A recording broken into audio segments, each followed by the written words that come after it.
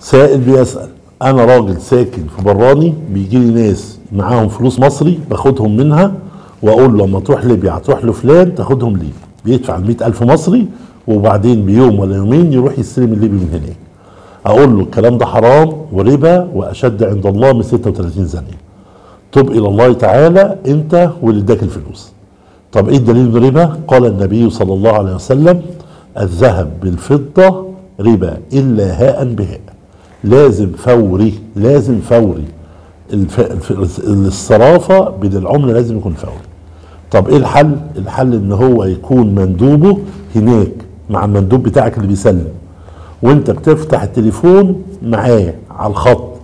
هو بيسلمك على الفلوس هنا وده بيسلمه الفلوس هناك. في نفس الوقت والتليفون مفتوح. يقول لك طب أنا بديله وصل أو شيك الوصله والشيكات ليست قبض. ده ورق دين. أبو هريرة قال لا تبيع السقاق. ونهى عن نهى مروان بن الحكم وقال له بيع السقاق ده ربا. الش- الشيكات مش قبض الوصله مش قبض. لازم في العملة الفورية. جزاكم الله خير.